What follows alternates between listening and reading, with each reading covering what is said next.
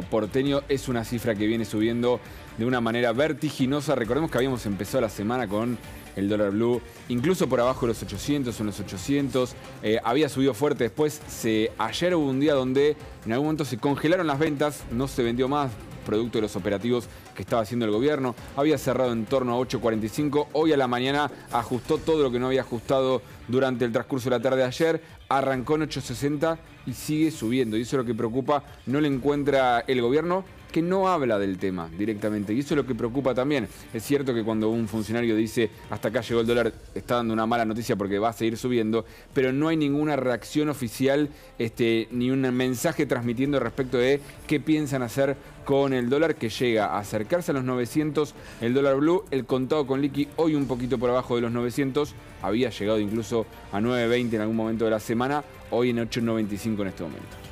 Bien, y a esto se suma el dato de inflación, ¿no? De la ciudad de Buenos Aires. Se conoció el número de septiembre de la ciudad de Buenos Aires. Mirá estos números, 12%. En total, eh, anual está dando 140%. Ya pasó en lo que va del año el 100% en el ámbito de la ciudad. ¿Y qué es lo que más preocupa de este número? Que en la relación de la ciudad es un aumento con respecto a agosto a lo que viene diciendo el gobierno, a lo que viene diciendo Rubinstein, por ejemplo, que en septiembre está bajando la inflación. Bueno, en la ciudad de Buenos Aires no, porque en agosto había dado 10,5, eh, si no me equivoco, y terminó subiendo ahora a 12%, y con otro dato muy preocupante, que es el de los alimentos. 14% dio la medición de alimentos en el mes de septiembre en la ciudad de Buenos Aires, que donde más pega ese número son los sectores más vulnerables.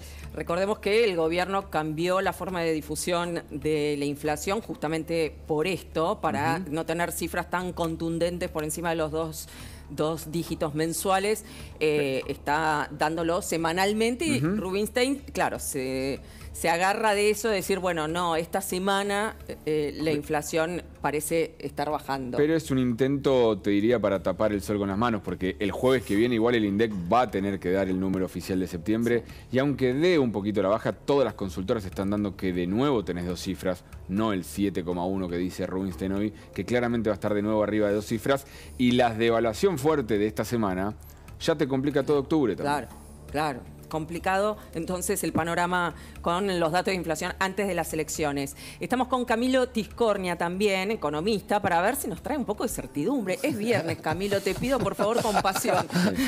Lamentablemente no hay, no buenas noticias, ¿No? desgraciadamente. No, no, eh, estaban comentando justamente, la preocupación es grande porque es una situación bastante inestable realmente, ¿no? Lo que estamos viendo con el comportamiento del dólar creo que es el termómetro más claro y lo más preocupante es que eh, el gobierno no tiene muchas herramientas para frenar esto.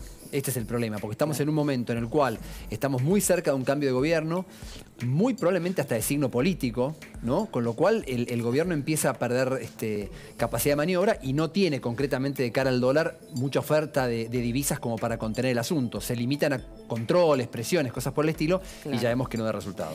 De hecho, eh, está un nuevo anuncio que modifica los términos del parking, ¿no? El tiempo que la gente que hace operaciones para adquirir eh, dólares a través de la compra y venta de bonos es el tiempo que tienen que quedarse con los bonos hasta poder venderlos y hacerse de los dólares. Es como una traba para conseguir eh, dólares por el contado con liquidación. Pero cada vez que lo implementaron, hicieron subir justamente el blue. Porque si es más difícil acceder al contado con liquidación, termina subiendo el dólar blue. ¿Y entonces por qué siguen insistiendo con esta medida? Porque realmente... Eh, lo, Se ríe, Tonelli. no, la hemos vivido tantas veces. Por eso, es, como mil veces lo mismo, como si fueran los precios justos o los acuerdos de precios. Estaban comentando también el dato de inflación. Esto, recordemos que prácticamente hace un año, en noviembre del año pasado, se lanzaba precios justos con la expectativa de llegar a una inflación de 3% y pico, llamémosle, el mes de abril. Y acá estamos hablando de que la inflación eh, en el mes de septiembre fue 12%. Eh, o sea, definitivamente es un problema grave el que está viendo. Eh, y creo yo que lo que requiere son medidas de fondo muy fuertes. Como el gobierno actual no lo puede hacer, es que no, está la solución. Va por el lado de los parches. Bueno, está complicado, porque además esto también es una especie de boomerang, ¿no? Porque este plan platita que está implementando eh, Massa sabiendo que es inflacionario. Él dice que el modelo del FMI es inflacionario. Lo que es inflacionario es que continúen emitiendo. Entonces, él sabe por lo menos tiene la presunción de que no van a ganar las elecciones, porque él sabe que está dejando una bomba de tiempo a quien eh, asuma el próximo gobierno.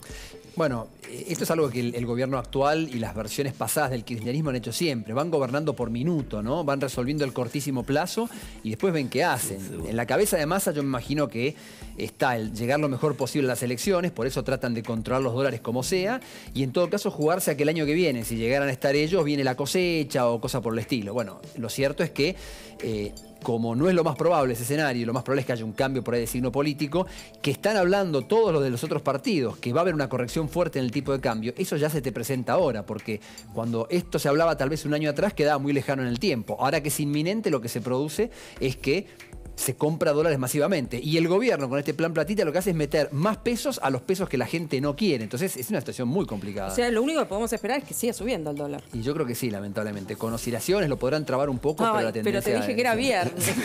por favor. Lamentablemente. Estamos complicados. Bueno, y encima el domingo es el nuevo debate presidencial. Recordemos, domingo pasado se hizo en Santiago del Estero con temáticas de economía, de educación, eh, derechos humanos y me falta alguno, creo que no. ¿Algún no, economía, educación y derechos humanos.